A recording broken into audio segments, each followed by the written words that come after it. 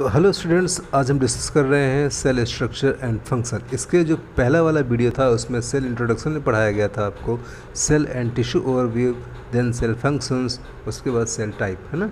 अब हम इसमें डिस्कस करेंगे सेल स्ट्रक्चर एंड फ़ंक्शन में पार्ट ऑफ़ द सेल्स जिसमें कि आपका plasma membrane cytoplasm organelles cytosol और न्यूक्लियस आते हैं, ठीक है? उसके बाद हम डिस्कस करेंगे structure of plasma membrane then उसके बाद passive and active transport then transport vesicles then osmosis then cytoskeleton and centrosome इसके पार्ट्स भी बहुत सारे हैं। देन एंडोप्लाज्मिक रेटिकुलम जो कि दो टाइप्स के होते हैं rough and smooth then Golgi complex उसके बाद लाइजोसोम्स पेरेक्सोसोम्स ठीक है। उसके बाद nucleus DNA chromosomes nuclear envelope हो गया न्यूक्लियोरस हो गया।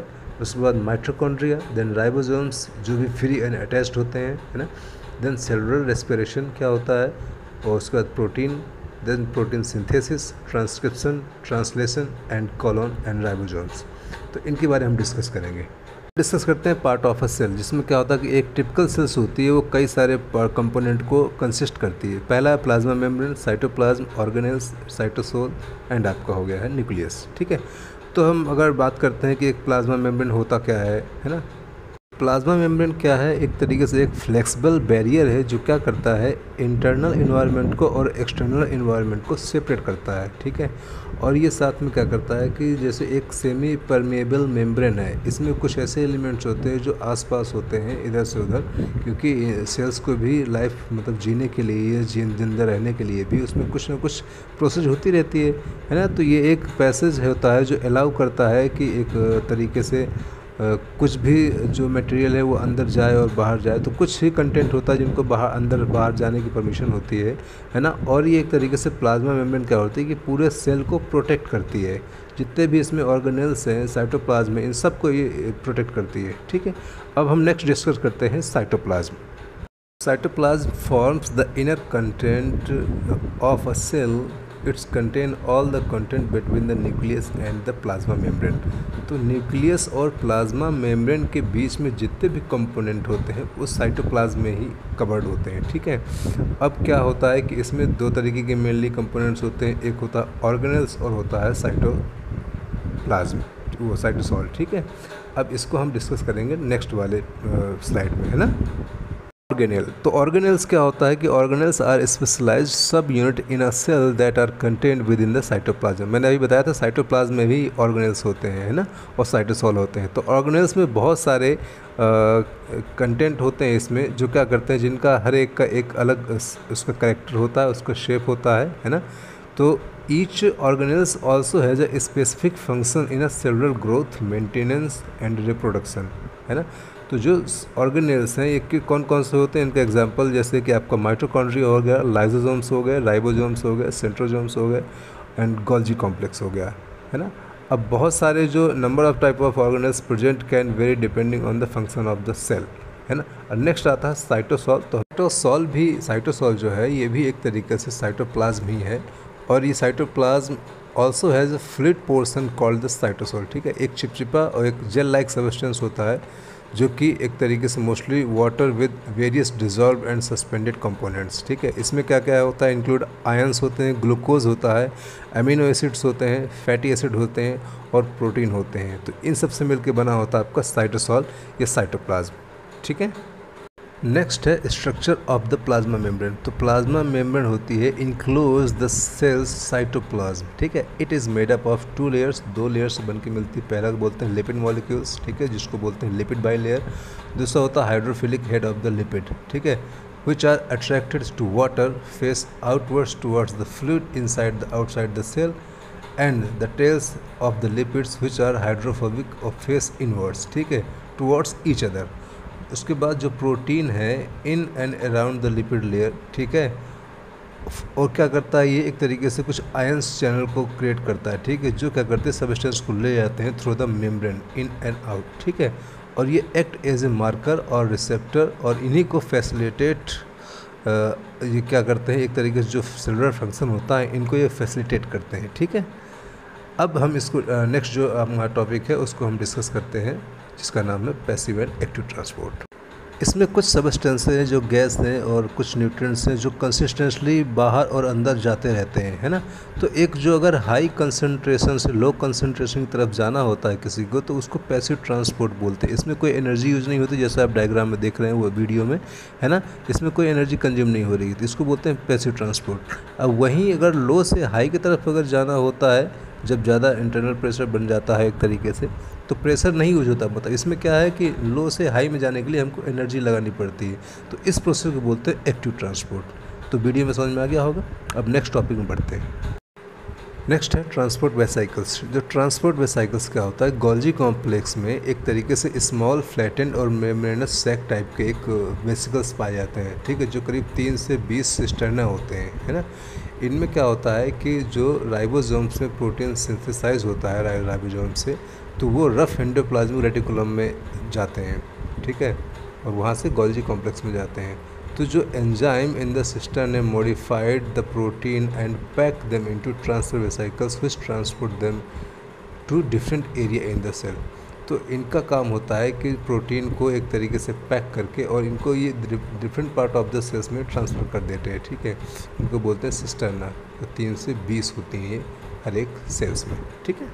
अब नेक्स्ट है हमारा, आता है ऑस्मोसिस है ना? तो diffusion of water across the cell plasma membrane is called osmosis अभी हमने पढ़ा था पैसिव एंड एक्टिव ट्रांसपोर्ट में ऑस्मोसिस के ऑस्मोसिस के थ्रू ही तो एक्टिव एंड पैसिव ट्रांसपोर्ट होता है पैसिव ट्रांसपोर्ट है ना? तो इसमें क्या होता है the direction of osmosis depend on the concentration of the solution around the cell जो भी सेल के अंदर या बाहर जो टेम्परे कंसनट्रेशन है, जो एक तरीके से प्रेशर पड़ रहा है, उसके ऊपर डिपेंड होता है कि सेल नॉर्मल है आइसोटोनिक है हाइपोटोनिक है या हाइपोटोनिक है. आइसोटोनिक में क्या होता है कि नॉर्मल है वाटर की सप्लाई जिसमें बैलेंस्ड होती है सेल प्रॉपर काम करती है. वहीं होता है एक हाइपोटोनिक सॉल्यूशन इसमें क्या होता है कि जो एक कंसनट्रेशन वाटर का एक तरफ़ ज़्यादा हो जाता है, बाहर की तरफ़, है ना? तो जब बाहर की तरफ़ ज़्यादा प्रेशर होता है तो अब प्रेशर ज़्यादा पड़ेगा सेल्स में। तो सेल्स क्या करेगी? अंदर जाएगी मतलब प्रेशर जाएगा वाटर का, उसके बाद सेल के बस्ट होने के चांस होते हैं, ठीक है? वो स्वेल हो जाएगी, थोड़ा सा फूल जाएगी और वो बस्ट हो जाएगी, जिसकी वजह से वाटरफॉल जैसे बस्ट होता है ना? तो इसको बोलते हैं हाइपरटोनिक सॉल्यूशन ठीक है? अब आता है हाइपरटोनिक सॉल्यूशन इसमें क्या होता है कि सेल के अंदर का जो प्रेशर होता है, वो बढ़ जाता है, जिसकी वजह से बाहर प्रेशर जो निकलेगा बाहर, जिसकी वजह से जो कोशिका होती है सेल्स होती है, वो श्रिंक हो जाती है, सिकुड़ जाती है, ठीक है? तो इसको बोलते हैं हाइपरटोनिक सॉल्यूशन ठीक है? अब आता है साइटोस्केल्टन एंड सेंट्रोसोम ये क्या करते हैं? मोस्टली सेल डिवीज़न में हेल्प करते हैं, है ना? तो इसमें क्या होता है? इसमें प्रोटीन होता है एक तरीके से जिसको बोलते हैं माइक्रोफिलामेंट्स एंड माइक्रोट्यूब्यूल्स ठीक है? वो सपोर्ट करते हैं सेल्स को किसमें? सेल डिवीज़न में, ठीक है? अब क्या क्या होते हैं ये? आपका साइकोस्केल्टन माइक्रोफिलामेंट माइक्रोट्यूब्यूल्स सेंट्रोसोम्स ठीक है? सेंट्रियोल्स हो गए देन पेरीसेंट्रियोल्स हो गए, ठीक है? अब हम डिस्कस कर रहे हैं साइटोस्केल्टन ठीक है? तो cytoskeleton is a network of protein filaments that extend through the cytosol cytosol से ही ये निकलता है। देख, आप चारों तरफ़ देख रहे हैं इस डायग्राम में, जो ऊपर एक लाइन लाइनिंग लाइनिंग सी है चारों तरफ़ से। तो एक तरीके से पूरे एक शेप को भी एक बनाता है हमारे सेल्स के, है ना? और ये साइटोसॉल से ही, या साइटोप्लाज्म से ही मिलके बनता है आगे, ठीक है? और तीन टाइप के फिलामेंट्स होते हैं, ठीक है? मतलब three type of filament form the क्या? साइटोस्केल्टन जिसको माइक्रोफिलामेंट होता है, ठीक है? दूसरा होता है इंटरमीडिएट फिलामेंट तीसरा होता है माइक्रोट्यूब्यूल्स ठीक है? तो जो माइक्रोफिलामेंट्स है which are compose of the protein actin है ना? Provide strength and support for a cell ठीक है? एक सेल के लिए स्ट्रेंथ एंड सपोर्ट को प्रोवाइड कराते हैं। इंटरमीडिएट जो फिलामेंट होता है, वो एक तरीके से located in area that endure mechanical stress ठीक है? मैकेनिकल स्ट्रेस को इंड्योर करता है है ना? And act to stabilise the position of the nucleus and the other organelles ठीक है? और जो माइक्रोट्यूब्यूल्स है, वो grow outwards towards the periphery of a cells है ना? तो they are the thickest of the three type have a long hollow space ठीक है? And are compose of the protein tubulin तो microtubules determine the shape of a cell है ना? जो क्या करती है contribute to the movement of organelles अब है माइक्रोफिलामेंट ठीक है? तो माइक्रोफिलामेंट क्या है? तो एक तरीके जो साइक्लो स्केल्टन है या साइटोप्लाज साइटो साइकोस्केल्टन को तीन फिलामेंट मिलके बनाते हैं, ठीक है? जो है एक तो माइक्रोफिलामेंट्स दूसरा इंटरमीडिएट फिलामेंट तीसरा माइक्रोट्यूब्यूल्स ठीक है? अब जो इनका मैंने बता भी दिया पहले ही कि मतलब ये किस तरीके से सपोर्ट करते हैं सेल्स को, ठीक है? स्ट्रेंथिंग प्रोवाइड कराते हैं मैकेनिकल स्ट्रेस में हेल्प करते हैं और जो भी ऑर्गेनल्स होते हैं, इनको स्टेबलाइज करने में, उनकी पोजीशन को या न्यूक्लियस को स्टेबलाइज करने में हेल्प करते हैं, ठीक है? अब इनका आगे वाला जो है, इसके माइक्रोफिलामेंट के जो आगे आता है, इसको, इसके बारे में हम लोग डिस्कस करते हैं, ठीक है? तो माइक्रोफ्लेमेंट के जो आगे आता है, इसको बोलते हैं माइक्रोट्यूब्यूल्स ठीक है? तो माइक्रोट्यूब्यूल्स भी ग्रो अपवर्ड्स या आउटवर्ड्स है ना? तो ये भी एक तरीके से towards the periphery of a cell है ना? और ये क्या होते हैं? थोड़ा सा मोटे होते हैं they are thickest of the three type have a long hollow space and are compose of the protein tubulin ठीक है, एक प्रोटीन होता है ट्यूबलिन उसकी वजह से बनते हैं, ठीक है? जो माइक्रोट्रिब्यूल्स होते हैं, ये क्या करते हैं? एक तरीके शेप डिफाइन करते हैं डिटरमाइन करते हैं सेल का। एंड ये मूवमेंट में जो आपके ऑर्गेनल्स हमारे इसमें सेल्स में होते हैं सेल्स के ऑर्गेनल्स के मूवमेंट में हेल्प करता है, उनको कैसे मूव करना है तो ये इस तरीके से माइक्रोट्रिब्यूल्स हेल्प करते हैं। नेक्स्ट आता है सेंट्रोसोम तो centrosome is a organelles in a cytoplasm of the cell एक जो साइटोप्लाज्म होता है, जितने जितने भी ऑर्गेनल्स आते हैं, वो साइटोप्लाज्म के अंदर आते हैं। तो सेंट्रोसोम भी एक तरीके से ऑर्गेनल्स ही है। और इसमें क्या होता है कि सेंट्रियोल से एक तरीके से पेयर कंटेन करता है, भरता है। ठीक है? जिसमें क्या होता है कि ये सिलेंड्रिकल और शेप में होता है, जो मतलब एक तरीके से गुच्छा बन जाता है cluster of microtubules in the circular arrangement जो मैंने अभी पहले बता चुका हूँ कि माइक्रोट्रिब्यूल्स होते क्या हैं, ठीक है? तो उनका जो अरेंजमेंट होता है, उसको ये फॉर्म करता है है ना? Then the pericentriolar material surrounded the centrioles it contains hundreds of complex that are ring shape and compose of protein ठीक है? ये प्रोटीन से और रिंग शेप में बन के मिल के बनता है, ठीक है? और ये क्या करता है कि जो सेल एक नॉन डिवाइडिंग जो सेल्स होती हैं, उनको बिल्ड करने में हेल्प करता है और सेल डिवीज़न में भी एक इंपॉर्टेंट रोल प्ले करता है। अब है सेंट्रियोल्स तो सेंट्रियोल्स की बात करें तो जो सेंट्रियोल्स होते हैं, ये सिलेंडिकर होते हैं शेप में, ठीक है? और एक तरीके से जो गुच्छा होता है माइक्रोट्रिब्यूल्स का, इसके सर्कुलर अरेंजमेंट में फॉर्म होते हैं, है ना? और जो पेरी सेंट्रियोल्स होता है, ये क्या करता है? इसको चारों तरफ़ से कवर करता है, ठीक है? जो सेंट्रियोल्स होते हैं। और it contains hundred of complexes that are ring shaped and compose of protein protein से बने होते हैं। बता चुका हूँ पिछले भी हम डिस्कस किया अभी। These complexes play a critical role in cell division and build microtubules in non dividing cell जो नॉन डिवाइडिंग सेल होती हैं, उनमें माइक्रोट्रिब्यूल को बिल्ड कर बिल्ड करता है। जो पेरियो सेंट्रल मटेरियल है, ये क्या करता है? सराउंड चारों तरफ़ से घिरा होता है किसके? सेंट्रियोल्स के, है ना? और ये हंड्रेड ऑफ़ कॉम्प्लेक्सेस जो रिंग शेप में होते हैं, है ना? वो प्रोटीन से मिल के बनते हैं, है ना? और वही जो कॉम्प्लेक्सेस होते हैं, वो एक अच्छा रोल प्ले करते हैं सेल डिवीज़न में और जो नॉन डिवाइडिंग सेल होती हैं, उनमें माइक्रोट्यूब्यूल को बिल्ड करने में। अब आता है एंडोप्लाज्मिक रेटिकुलम ठीक है? तो एंडोप्लाज्मिक रेटिकुलम एक तरीके से दो मतलब ये दो तरीके होते हैं रफ़ एंड स्मूथ है ना?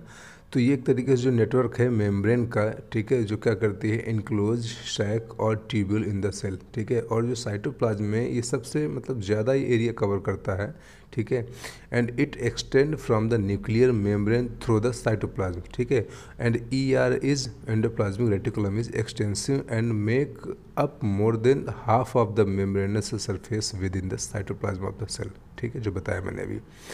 दो टाइप का दो टाइप के होते हैं रफ़ एंड स्मूथ तो अगर रफ़ की बात करते हैं तो जो रफ़ ई आर होता है it continue with the nuclear membrane with numerous protein synthesising ribosome इसमें अटैच्ड होते हैं और स्मूथ होता है, ये एक्सटेंड फ्रॉम द ये रफ़ एंडोप्लाज्मिक रेटिकुलम से ही आगे कंटिन्यू होता है, ठीक है? और form a network of tubules ठीक है? जो एक ट्यूब्यूल्स जो आपको दिख रहे हैं ब्लू कलर के, है ना? ये होता है ई आर और ये ट्यूब्यूल्स को फॉर्म करते हैं, ठीक है? लेकिन दोनों का फ़ंक्शन क्या होता है कि सेलुलर ग्रोथ के लिए और उसके फ़ंक्शंस के लिए ये इंपॉर्टेंट रोल प्ले करते हैं। आता है गोल्जी कॉम्प्लेक्स इसमें क्या होता है कि प्रोटीन रिलीज़ होने के पहले ही एक सेक में होता है, ठीक है? जो एक तरीके सेट ऑफ़ सैक होता है, उसको बोलते हैं गोल्जी कॉम्प्लेक्स तो जो protein produced in the endoplasmic reticulum में जो प्रोटीन प्रोड्यूस होता है, ठीक है, उसके बाद वो कहाँ प्रोसेस होता है? In the set of membrane sac known as Golgi complex before being released ठीक है? तो इस तरीके से गोल्जी कॉम्प्लेक्स का काम होता है और बाकी हमने इसके पहले वाले में पढ़ा था हमने कि जो Golgi complex is in organelles in the cytoplasm of cell it consist three to twenty cistern अभी बताया था हमने, है ना?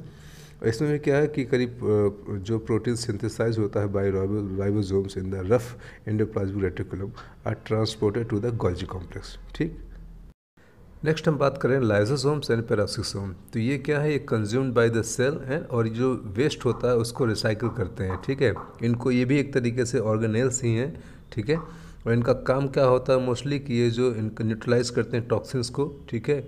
और कुछ metabolic long chain fatty acid होती है उनको भी and contribute to energy production और एनर्जी प्रोडक्शन में ये कंट्रीब्यूट करती हैं, ठीक है? जो कि सेल्स को एक एनर्जी चाहिए होती है ना तो लाइजोसोम एंड पैरासिसोम से हेल्प करते हैं। अगर हम बात करते हैं लाइसोसोम्स की तो लाइसोसोम को अगर डिटेल से देखना चाहते हैं तो ये एक गोल्जी कॉम्प्लेक्स से ही बनता है, ठीक है? और ये सिंगल मेम्ब्रेन होती है, जो आप ब्लू कलर के डॉट दिख रहे हैं, ये है आपका लाइजोम्स ठीक है? और ये, इनका जो सराउंडेड होता है, यही एक प्रोटेक्ट करते हैं एक दूसरे मतलब अपने को सेल्फ को and enable the transport of material into and out of the compartment compartment में कोई भी जो मतलब कंपार्टमेंट है, इनमें इन और आउट करने का काम इनका होता है, जो भी मटेरियल होता है, ठीक है? और लाइसोसोम होते हैं, एक तरीके से इनके पास एसिड हाइड्रोलेज होता है एंजाइम होता है, जो कि क्या करता है? ब्रेक डाउन करता है, ठीक है? Out part of the cell and recycle cell structure. और इसी प्रोसेस को बोलते हैं ऑटोफेगी। मतलब ये क्या करता है, जो लाइजोसोम्स होता है, ये इनगल्फ कर लेता है अनदर ऑर्गेनल्स को अंदर खा लेता है और उसको डाइजेस्ट कर लेता है, ठीक है? और जो डाइजेस्टेड मटेरियल होता है, उसको ये डिपोजिट कर देता है कहाँ पर? साइटोसॉल में और साइटोप्लाज्म में और वहाँ से वो फिर रिसाइकलिंग के लिए, ठीक है? तो ये हो गया लाइसोसोम्स अगर हम बात करते हैं नेक्स्ट है पैरासिक्सोम, ठीक है? पैरासिक्सोम भी एक तरीके से ऑर्गेनल्स है जो साइटोप्लाज्म में पाया जाता है। ये भी एक, इसको बोलते हैं माइक्रोबॉडीज और बिल्कुल सिमिलर टू आपका लाइजोसोम की तरह होता है, ठीक है? और जो पैरासिक्सोम होते हैं, इसमें ऑक्सीडेज होता है, ठीक है? एंजाइम होते हैं, वो क्या करते हैं? ऑक्सीडाइज करते हैं ऑर्गेनिक सबस्टेंस को, ठीक है? तो इस प्रोसेस में क्या होता है कि हाइड्रोजन जो होता है हाइड्रोजन जो होता है हाइड्रोजन रिमूव हो जाता है एक मॉलिक्यूल से, उसके बाद बलता, बचता है हाइड्रोजन पेरोक्साइड ठीक है? और जो पैरासिक्सोम्स होते हैं, ये ऑल्सो एक एंजाइम कंटेन करते हैं, जिसको बोलते हैं कैटलेज ठीक है? Which break down hydrogen peroxide ठीक है? अब पोटेंशियली टॉक्सिक कंपाउंड होता है, ठीक है? जो peroxisomes are numerous in the liver where detoxification of alcohol and other substances occur ठीक है? ये सबसे ज़्यादा लीवर में पाए जाते हैं, जहाँ पर क्या होता है कि डिटॉक्सिफिकेशन होता है लीवर का और बहुत सारे अदर सब्सटेंसेज होते हैं, ठीक है? इनका काम होता है डाइजेस्ट करना एक तरीके से डिटॉक्सिफिकेशन करना। ओके okay, तो नेक्स्ट है न्यूक्लियस न्यूक्लियस में आपको न्यूक्लियस के बारे में पढ़ेंगे chromosomes nuclear envelope and nucleolus अगर न्यूक्लियस की बात करते हैं तो nucleus is a large organelles that contain in the cell genetic contains the cell genetic information जो भी हमारे पूर्वजों के कुछ करेक्टर्स होते हैं उनकी इन्फॉर्मेशन होती है वो इसमें कंटेन भरी होती है ठीक है? और ये चारों तरफ़ से घिरा होता है साइटोप्लाज्म में और ये बिल्कुल सेंटर में होता है। किसी किसी सेल में किसी किसी सेल में सिंगल न्यूक्लियस होता है बट किसी किसी में मल्टीपल होते हैं, ठीक है? और जैसे कि कुछ अदर सेल्स हैं, जैसे कि जो मेच्योर्ड रेड ब्लड सेल है, उसमें न्यूक्लियस नहीं पाया जाता है, ठीक है? अब जो आगे है न्यूक्लियर इन्वेलप इसमें डबल लेयर्ड होती मेम्ब्रेन होती है, जो कि इसको साफ़ तरफ़ से न्यूक्लियर को घेरती है, ठीक है? तो similar in the structure to the plasma membrane जैसे एक सेल की प्लाज्मा मेम्ब्रेन होती है, इसी तरीके से स्ट्रक्चर इसका भी होता है, जो कि न्यूक्लियस को चारों तरफ़ से कवर करता है and opening in the nuclear membrane called nuclear pore और न्यूक्लियर पोर्स में ये ओपन होते हैं, ठीक है? जो क्या करते हैं? Control the flow of substances in and out nuclear plasm होता है, जो कि एक विस्कस लिक्विड होता है inside it which called nucleus ठीक है? अब इसका जो न्यूक्लियस का कंटेंट होता है, वो इसमें भरा होता है which include one or more spherical bodies known as nucleoli बात कर रहे हैं न्यूक्लियोलस की तो न्यूक्लियस भी क्या है? Each nucleolus contains a cluster of protein ठीक है? जिसमें आपका DNA RNA deoxy ribose nucleic acid DNA होता है और राइबो न्यूक्लिक एसिड होता है RNA.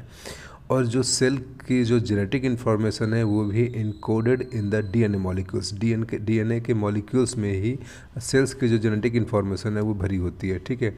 Which are arranged along chromosomes chromosome होते हैं तो उसी के फॉर्म में ये वहाँ पे अरेंज्ड होती है। और कुछ ह्यूमन सोमेटिक सेल्स है, जिसमें करीब 46 क्रोमोसोम्स होते हैं each of which contains long molecules of DNA called DNA coiled around protein. Although the chromosomes are shown condensed here, and they are normally uncondensed and not able to be visualize until the cell begins to divide जब भी cell divide होती है, तब जाके ये खिंचते हैं, तब जाके ये दिखते हैं अदरवाइज़ ऐसे नहीं दिखते हैं, ठीक है? The nucleus serves to contain D N A and transcribed R N A which exist via the nuclear pore through and the nucleus form organelles called ribosomes which synthesize protein. अब बात कर रहे हैं माइटोकॉन्ड्रिया की तो mitochondria use oxygen taken in by the cell to produce ATP ठीक है ये ऑक्सीजन को इनटेक करता है जो कि प्रोड्यूस करता है फिर एटीपी को ठीक है the molecules that cells use as a fuel of energy ठीक है? तो वही जो ए टी पी मॉलिक्यूल्स होता है, वो एज ए एनर्जी फ्यूल की तरह यूज़ होती है माइट्रोकोन्डिया से सेल में। तो mitochondria are organelles located in the cytoplasm of a cell a cell में have few hundreds to several thousand mitochondria एक सेल्स में करीब सौ से लेके हज़ारों माइट्रोकोन्ड्रिया होते हैं। और depend on their specific function जो सेल का स्पेसिफिक फ़ंक्शन है, उसके ऊपर डिपेंड करता है, क्योंकि a single cell mitochondrion consist of an outer membrane and inner membrane with a space in between ठीक है? तो जो दो, जो इनर मेम्ब्रेन है in cases a series of fold called cisterna ठीक है? That wind around a fluid filled cavity known as matrix ठीक है? और माइट्रोकॉन्ड्रिया है, वही है जो मेन सोर्स ऑफ़ एनर्जी है, इसको बोलते हैं पावर हाउस है ना? And result are known as the power plant of a cell and they generate most of the cell's ATP ठीक है? जिसको बोलते हैं adenosine triphosphate through aerobic respiration oxygen का यूज़ करके। Very active cells in the muscles, liver and kidney have a large number of mitochondria to support their high metabolic demand क्योंकि बहुत सारी एक्सरसाइज हम करते हैं मसल्स को ऑक्सीजन की रिक्वायरमेंट होती है तो उनको थोड़ा सा रिकवरी मिल जाती है इस वजह से माइट्रोकॉन्ड्रिया एक बहुत अच्छा पावरफुल सोर्स है एनर्जी सेल्स के लिए बात कर रहे हैं राइबोसोम्स की। तो ribosomes synthesize protein some ribosomes float freely in the cytosol या cytoplasm while other are attach to the cellular structure ठीक है? अब ये दो तरीके होते हैं फ्री राइबोसोम्स होते हैं कुछ अटैच राइबोसोम होते हैं ठीक है? अगर राइबोसोम्स को भी अगर और डिटेल में हम पढ़ते हैं तो इसमें यही पता चलता है कि ये आ, कुछ जो राइबोसोम्स होते हैं वो चिपके होते हैं कुछ फ्री होते हैं। जो चिपके होते हैं वो एंडोप्लाज्मा रेटिकुलम से चिपके होते हैं बंधे होते हैं और राइबोसोम्स होते हैं मोस्टली करीब फिफ्टी से ज़्यादा प्रोटीन को अपने साथ रखते हैं and high content of ribosomal R N जिसमें होता है, ठीक है? आर राइबोन्यूक्लिक एसिड और this primary function of ribose is protein synthesis ठीक है? जब protein synthesized by the ribosomes are used by organelles in the cell ठीक है? जो प्रोटीन सिंथेसाइज होता है, वो सेल्स के द्वारा ही यूज़ किया जाता है। प्लाज्मा मेम्ब्रेन के भी द्वारा यूज़ किया जाता है और जो स्ट्रक्चर आउटसाइड द सेल होता है उसमें भी प्रोटीन यूज़ होता है जो कि राइबोसोम से सिंथेसाइज होता है। नेक्स्ट है सेलुलर रेस्पिरेशन तो जो सेलुलर रेस्पिरेशन है it is the series of process that take place within a cell to break down glucose to ATP glucose से एटीपी का जो मॉलिक्यूल्स निकलता है, उसकी जो प्रोसेस है, इसमें मेनली तीन प्रोसेस होती हैं, ठीक है? जिसमें आपका ग्लाइकोलिसिस होता है फ़र्स्ट दूसरा होता है साइट्रिक एसिड की साइकिल एंड तीसरी होती है ऑक्सीडेटिव फॉस्फोरेशन जिसको बोलते हैं इलेक्ट्रॉन ट्रांसपोर्ट चैन ठीक है।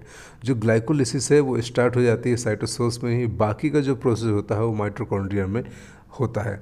अब अगर इसको हम वीडियो में देखते हैं तो पहले स्टेप में देखें ग्लाइकोलिसिस में क्या होता है कि जो ब्रेक डाउन होता है सिक्स जिसमें ग्लूकोज मॉलिक्यूल्स निकलते हैं, वो प्रोड्यूस करते हैं दो से तीन कार्बन पायरोविक एसिड मॉलिक्यूल्स ठीक है।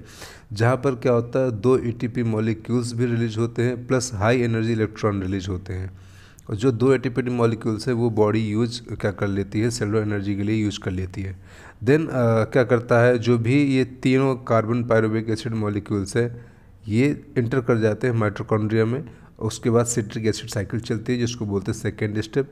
इसमें क्या होता है दो और इसमें एटीपी मॉलिक्यूल्स क्रिएट होते हैं और इसमें carbon dioxide as a waste energy या वेस्ट प्रोडक्ट के दौर पे इसमें आउट होती है और उसमें हाई इलेक्ट्रॉन एनर्जी अगर दोबारा रिलीज़ होती है उसके बाद थर्ड स्टेप आता है जिसको बोलते हैं हम लोग ऑक्सीडेटिव फॉस्फोरेशन इसमें क्या होता है? इलेक्ट्रॉन ट्रांसपोर्ट चैन इन्वॉल्व हो जाती है। तो इनर माइट्रो माइट्रोकॉन्ड्रिया के मेम्ब्रेन पे ये मोस्टली जो ये प्रोसेस होती है और यहाँ पे करीब 38 अब से मतलब 38 मॉलिक्यूल्स तक रिलीज़ होते हैं, जो कि एक सिंगल ग्लूकोज मॉलिक्यूल से होते हैं। ठीक है? तो ये पूरा जो कंप्लीट हो जाता है, पूरी तीन मेन स्टेप होते हैं जो कि आपका रेस्पिरेशन में हेल्प करते हैं। नेक्स्ट बात कर रहे हैं प्रोटीन की। तो protein are the chain of amino acid that have many functions in the body क्योंकि प्रोटीन सबको पता है, प्रोटीन को रिक्वायर प्रोटीन की रिक्वायरमेंट पूरे बॉडी में होती है है ना? उसमें क्या क्या होता है कि including acting as a hormones in the endocrine endocrine से जो हार्मोन्स सीक्रेट होते हैं, उसमें प्रोटीन का यूज़ होता है, ठीक है? और कॉन्ट्रैक्टिंग द मसल्स मसल्स जब कॉन्ट्रैक्ट करती हैं, तब भी प्रोटीन का यूज़ होता है। हम जो भी काम करते हैं, जितने भी, एक जीवित प्रक्रिया चल रही है बॉडी में, उसके लिए प्रोटीन की नीड होती है। And transporting substances in the bloodstream and across the cell membrane और जो भी ब्लड में ब्लड के थ्रू पूरे बॉडी में सिस्टम के थ्रू पूरे बॉडी में जो ये ब्लड सर्कुलेट हो रहा है, उसमें ही प्रोटीन जाता है, जो कि हेल्प करता है पूरी बॉडी को एनर्जी बनाए रखने के लिए। अब हम बात करें प्रोटीन सिंथेसिस की तो the information in DNA in the nucleus is used to produce protein, ठीक है? जो भी इंफॉर्मेशन होती है डीएनए में, न्यूक्लियस में, वो यूज़ होती है प्रोटीन में, ठीक है? The assembly of the protein amino acid chain occur in the cytoplasm. Cytoplasm में ही ये अमीनो एसिड की जो चैन की प्रक्रिया होती है, ये वहाँ पूरी होती है and is facilitated by ribosomes पढ़ाया था ना राइबोसोम्स में ही प्रोटीन का सिंथेसिस होता है, ठीक है? अब इसमें जैसे आगे है D N A in chromosomes nucleus और साइटोप्लाज्म, इसको हम पहले पढ़ चुके हैं अभी। डिस्कस करते हैं ट्रांसक्रिप्शन डेफिनेशन। तो protein are made from the template of a cell genetic code through the process of transcription and translation. In transcription, the double helix, जिसको बोलते हैं D N A molecules, is unzipped as a messenger R N A ठीक है, जिसमें कि messenger M R N A निकलता है molecule is created from the DNA template मतलब जो भी प्रोटीन एक तरीके से बनता है तो उसमें दोनों प्रोसेस होती हैं ट्रांसक्रिप्शन एंड ट्रांसलेशन ठीक है? और ट्रांसक्रिप्शन और ट्रांसलेशन में क्या होता है कि डीएनए का एक मैसेंजर फॉर्म फॉर्म होता है, जिसको बोलते हैं एमआरएनए ठीक है? वही जाके एक तरीके आप वीडियो में भी देख रहे होंगे कि किस तरीके से डीएनए जो है डीएनए से जो एक एक जिप, एक तरीके से देखा कंप्यूटर में जिप फ़ाइल होती है, जिप को हम अनजिप करते हैं, है ना? तो जिप फ़ाइल हो गई एक तरीके से डीएनए डीएनए को जब अनजिप किया गया है तो उसमें से आरएनए निकला है। आरएनए का भी जो एम आर जो इसको कोड होता है, ये रीड करता है डीएनए, और इसको एम आर मैसेंजर जो एम आर होता है, इसको ये निकलता है। निकलने के बाद फिर जाके ये जो पोर्स होते हैं, पोर्स में से आउट होता है, तब जाके प्रोटीन का एक तरीके से निर्माण होता है। ठीक है तो इन प्रोसेस को भी ट्रांसक्रिप्शन बोलते हैं और अभी अगले वाले में हम लोग पढ़ेंगे कि ट्रांसलेशन क्या होता है। अब हम बात कर रहे हैं ट्रांसलेशन की। तो translation is the formation of a linear chain of amino acid ठीक है जो एक प्रोटीन होता है using the transcribed information provided by an mRNA strand. During translation, the mRNA template is decoded for translated to synthesize a protein within the ribosomes, a three base sequence in the mRNA that code for a specific amino acid in the protein is called a codon.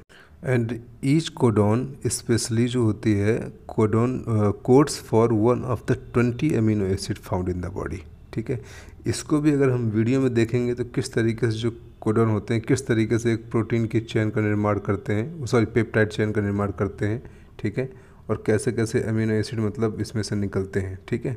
तो इसके भी हम video में देख रहे हैं आगे। तो ट्रांसक्रिप्शन के बाद जो प्रोसेस आई है वो ट्रांसलेशन। तो जो ट्रांसक्रिप्शन में जो एम निकलता है, ठीक है, वो आता है यहाँ पर और उसका जो स्टैंड होता है, वो जाकर रीड करता है टी आर एन मॉलिक्यूल्स को, ठीक है? तो जो एक यहाँ, यहीं पे ये कोडोन स्टार्ट होती है तो जो ऊपर एंटी कोडोन होता है ये आता है फ़र्स्ट एंड सेकेंड प्लेस इनकी एक तरीके से निर्धारित की जाती है ठीक है जिसमें ऊपर एमिनो एसिड का एक तरीके से मॉलिक्यूल्स होता है ठीक है। अब ये रीड करने के लिए है कि ये बार बार आते जाएँगे कॉडन फ़र्स्ट प्लेस आपकी होगी हमेशा अपने से अगर देखेंगे तो रा, राइट साइड में होगी और दूसरी लेफ़्ट साइड में होगी। ठीक है? तो जब सेकंड पोजीशन वाले ने फ़र्स्ट को उसमें रीड कर लिया है, एक स्टैंड नीचे कंप्लीट हो चुका है तो इसने क्या किया है? उस अमीनो एसिड को या प्रोटीन को उसने अपने उसमें ले लिया है, ठीक है? चिपका लिया एक तरीके से। अब यही प्रोटीन जाके ये जब बॉडी में या सेल्स में पोर्स के थ्रू मतलब निकलेगा या फिर पूरे सेल्स में एक एज एनर्जी के तौर पे यूज़ होगा, और माइट्रोकॉन्ड्रियम स्टोर तो होता ही होता है ये। है ना? इस तरीके से ये कोडोन होते हैं, बार बार बार बार बार बार, ये ये जाके पूरा प्रोटीन का निर्माण करते हैं, ठीक है? जब कोडोन स्टॉप हो जाता है, तब जाके इस प्रोटीन, ये प्रोटीन मतलब यूज़ होता है पूरे बॉडी में एक तरीके से सेलुलर फ़ंक्शन के लिए। अब हम बात कर रहे हैं कोडोन एंड राइबोसोम्स की, ठीक है? तो कोडोन एंड राइबोसोम्स में जो हमने अभी जो वीडियो अभी निकला है, उसी को हम डिस्कस कर रहे हैं कि किस तरीके से जब वहाँ सर एक M R N A entering from cytoplasm from the nucleus ठीक है तो वहाँ से क्या होता है कि जो टी आर एन ए जो स्ट्रैंड है, उसमें जिसमें अमीनो एसिड लगा हुआ है ऊपर, है ना तो वो एक तरीके से एम आर एन ए में ये एंटी कोडोन और कोडोन जाके एक तरीके से एक रीड करते हैं या एक तरीके से एक बॉन्ड बनाते हैं, जिसके वजह से एक जो एक बॉन्ड जब बनता है तो अमीनो एसिड का तब जाके ये यूज़ होता है हमारी सेलुलर प्रोसेस में। ठीक है? बाकी थोड़ा और अगर डिटेल में जानना हो, इसमें भी और डिटेल और है तो मुझे आप कमेंट कीजिएगा। अगर और थोड़ा सा शॉर्ट में जानना हो, तब भी आप कमेंट कीजिएगा।